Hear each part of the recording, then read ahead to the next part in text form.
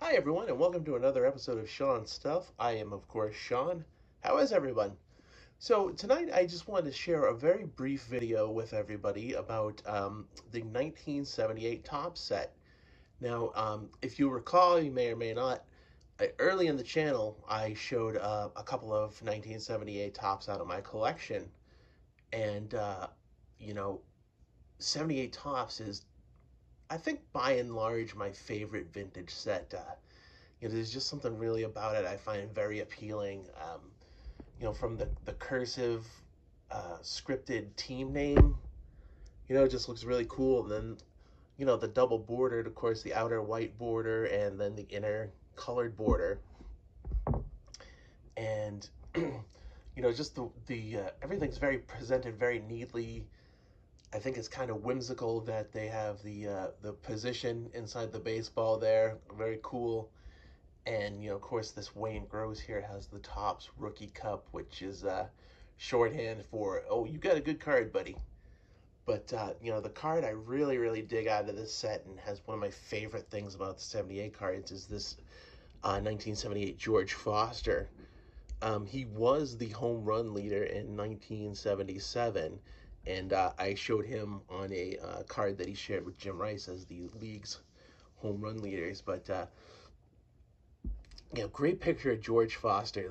You know, just looking very stoic, looking looking for that next home run. But you know, my absolute favorite thing about this card is. Uh, you know, Topps this year, rather than in 1978, rather than doing a, a subset of all star cards, they made a notation on the player's base card, and it is, in the case of these 78s, is very, very cool looking shield design or badge design, if you will, you know, with uh, red, white, and blue.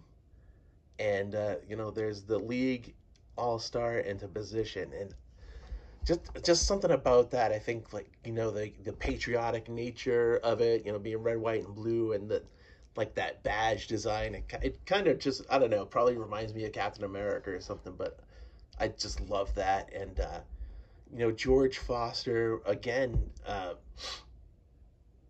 you know, he was the fifth, the uh, fifth guy in the National League, I think. Yeah, in 1977, George became only the fifth man in NL history to hit 50 homers.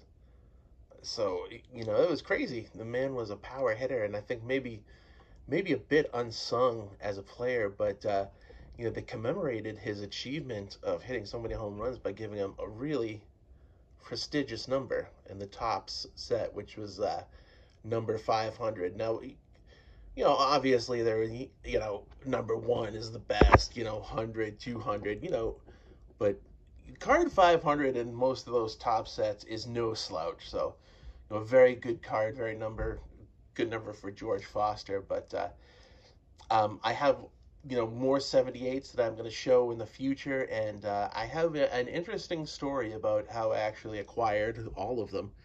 And um, I'll share that for a video when I have a little more time but anyway uh, hope you enjoyed this video. Uh, please sound off in the comments like do you have any 78 yourself? Is there a particular vintage set that you like to collect? Um, you know any comments any questions any concerns anything you'd like to see? But uh, you know, hope everybody enjoys uh, what little remains of their weekend and uh, hope Monday brings uh, bright skies and uh, hot coffee to everybody.